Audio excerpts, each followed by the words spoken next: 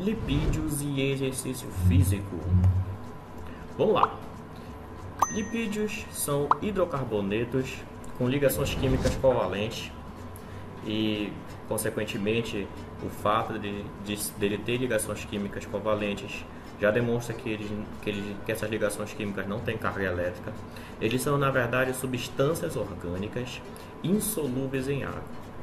Se a gente parar para pensar, as, as duas principais características dos lipídios é justamente o fato de ele ser uma substância orgânica insolúvel em água. Diferente dos carboidratos, que foi estudado anteriormente, ele, embora seja formado por CHO, ou seja, carbono, hidrogênio e oxigênio, os lipídios ele tem uma conformação que faz com que, diferentemente dos carboidratos, ele seja insolúvel, seja, ele seja hidrofóbico à água. Tá certo? Nós é, apresentamos alguns tipos de lipídios. Eles podem ser representados pelas gorduras, pelos óleos, pelas ceras ou porque a gente chama, porque a gente chama de compostos derivados. Se a gente for dividir os lipídios, eles têm três classificações. Eles podem ser os lipídios simples, os compostos e os derivados. E aí, de acordo com essas três classificações, simples, compostos ou derivados, nós vamos classificar esses lipídios. Então, vamos entender. Car substância orgânica é porque apresenta carbono na sua constituição química. Então ele é formado por CHO, só que diferente dos carboidratos, a concentração é, de carbono e oxigênio é diferente, enquanto que nos carboidratos a concentração de carbono e oxigênio são iguais. Vamos pegar um exemplo? Glicose C6H12O6. Então, C6 e O6, mesma concentração. Nos lipídios, essa fórmula não acontece dessa maneira.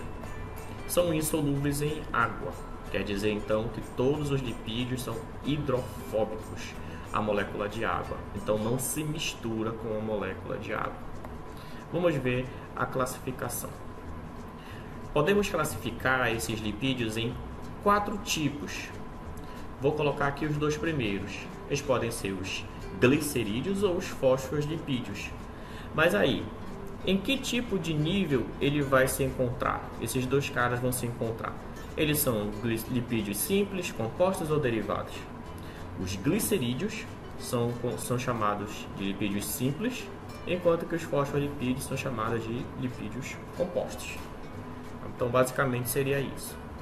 O glicerídeo, ele é o protagonista, ele é o mais estudado, ele é realmente o que a gente vai frisar bastante dentro desse conteúdo, tá bom? E aí vou colocar aqui essa imagem para que você possa perceber como é que ele é constituído. Mas primeiro vamos entender algumas coisas. Os glicerídeos também podem ser chamados de triglicerídeos, que quer dizer são justamente a é, é justamente a organização da molécula de lipídio que vai dar esse nome a ele. Aqui, neste primeiro, nessa primeira parte, nós temos um ácido graxo. Depois nós temos um segundo ácido graxo e depois um terceiro ácido graxo. Então aqui nós temos três cadeias de ácidos graxos. Essas cadeias são cadeias de hidrocarbonetos. E na ponta dessas cadeias de hidrocarbonetos, nós temos ácidos carboxílicos. Estes ácidos carboxílicos é que vão dar o nome de o teor ácido ao lipídio. Então ele é um ácido graxo. Em cima, nós temos um álcool. Este álcool é chamado de glicerol. Toda vez que um ácido graxo se unir ao, ao glicerol, vai ser eliminada uma molécula de água. Quando o segundo ácido graxo se unir ao mesmo glicerol, uma segunda molécula de água é eliminada.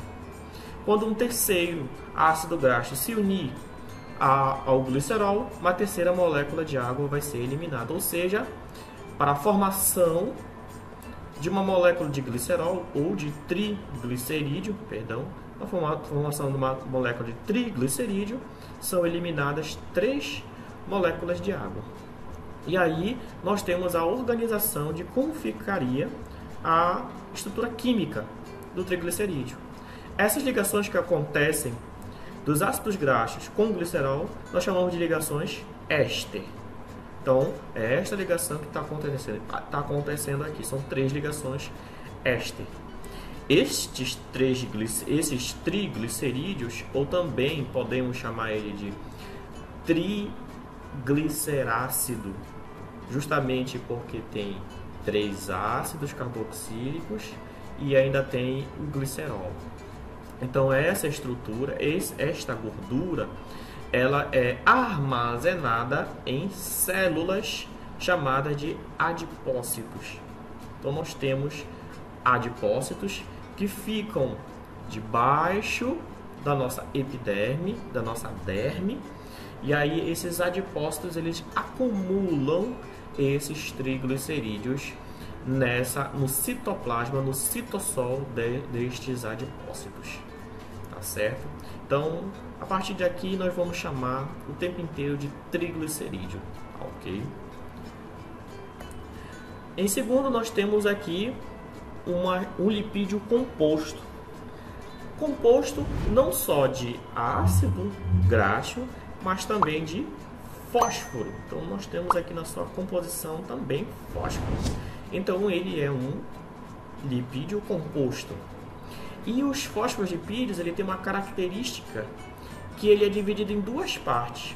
Ele não é completamente hidrofóbico. Existe uma região que ela é hidrofílica e existe uma região que ela é hidrofóbica. O que quer dizer esses termos? Hidrofóbico quer dizer que é uma região que tem aversão à água, enquanto que tem uma outra região que ela é, tem afinidade à água. Toda a cabeça de um fosfolipídio ela é hidrofóbica, quer dizer que ela não se mistura com a água.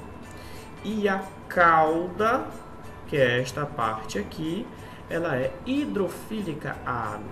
Quer dizer, se no momento em que a água entrar em contato com esta cauda, vai haver reações químicas. E essas reações químicas irão que mudar a constituição desta cauda. Isso para um fosfolipídio não é interessante. Então, o que acaba acontecendo?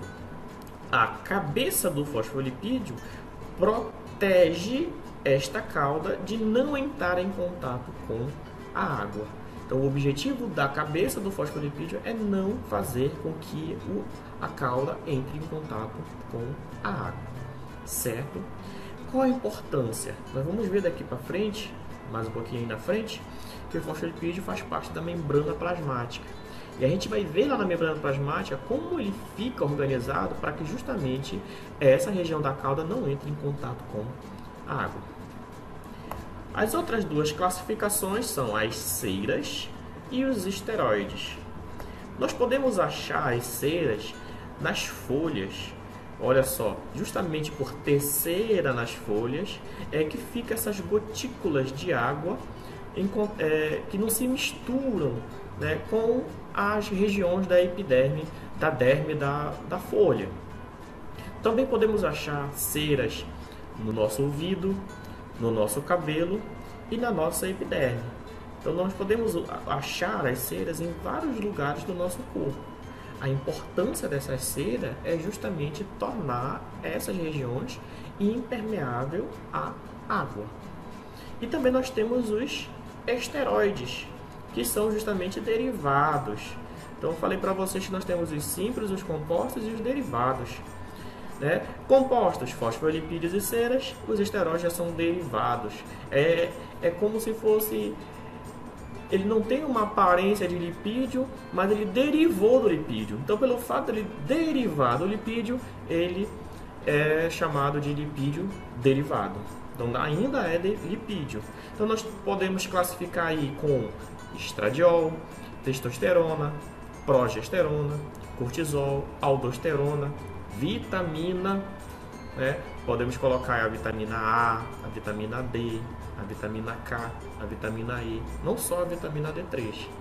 E o colesterol. Então nós vamos falar sobre os mais importantes, que vai ser testosterona, o colesterol. Né? E vamos falar rapidamente sobre o estradiol, sobre a progesterona e sobre a vitamina D3. Tá certo? A termo de curiosidade, estradiol e progesterona são os hormônios femininos que fazem parte do ciclo menstrual e que é, constituem as características femininas. A testosterona é o hormônio masculino, o cortisol é o hormônio do estresse ou o hormônio do despertar. É graças a esse hormônio que a gente acorda todo dia. A aldosterona é um hormônio derivado é, da testosterona. A vitamina D3 é um hormônio importantíssimo para a constituição dos nossos ossos. E o colesterol é importantíssimo para a formação das nossas células e para a formação de nossos hormônios lipídicos. Então ele é uma matéria-prima extremamente importante para, os nossos, para a formação de hormônios e para a membrana das nossas células. Vimos a classificação, mas vamos agora para as funções. Vamos sempre olhando as classificações lá, beleza? Estrutural. Quem faz parte das estruturas? Os fosfolipídios. Os fosfolipídios, nós temos aqui a cabeça, nós temos as caudas. Percebam que a cauda fica escondida para dentro, tanto no meio extracelular quanto no meio intracelular. Então, é justamente as cabeças que vão entrar em contato com a água para que essas caudas não sejam solubilizadas em contato com a água, tá bom? Então, a importância do fosfolipídio é é a função de que da formação da membrana plasmática das células animais e vegetais. Tá certo? Energética não é qualquer função energética. É a função de reserva de energia.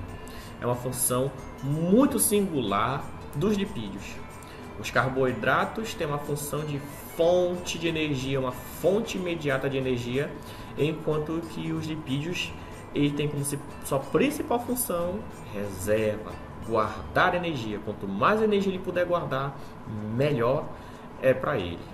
Tá certo? Onde é que é guardada essa energia? Como foi falado, nas células gordurosas, nos adipócitos. Toda essa região amarelada são triglicerídeos armazenados. São ácidos graxos armazenados nessa célula adiposa. Essa célula adiposa ela pode crescer bastante de acordo com a quantidade de energia que pode ser armazenado nela. Chega a certos momentos em que essa célula fica tão grande que ela precisa sofrer uma mitose, uma divisão celular. E aí ela sofre uma divisão celular para que aconteça, para que continua, continue acontecendo os processos de armazenamento de gordura também nós temos algumas funções. Proteção dos nossos órgãos internos contra choques mecânicos. Então, pessoas que têm um tecido adiposo muito maior do que uma pessoa que tem uma, um tecido adiposo bem menor, sofre menos danos nos seus órgãos internos do que uma pessoa mais magra. Né? Então, é até injusto ocorrer uma luta de uma pessoa gorda contra uma pessoa magra. Porque os golpes que uma pessoa gorda recebe sofrem menos impacto dentro dos seus órgãos internos do que uma pessoa mais magra. Outra função são que ele é um excelente isolante térmico e elétrico. É por isso que numa água bem fria as pessoas magrinhas morrem de frio, enquanto que as pessoas mais gordas estão lá tranquilas. Então, ele evita que aconteça perda de calor para o ambiente externo. Então ele limita bastante essa perda de calor. Então ele é um excelente isolante térmico e um isolante elétrico.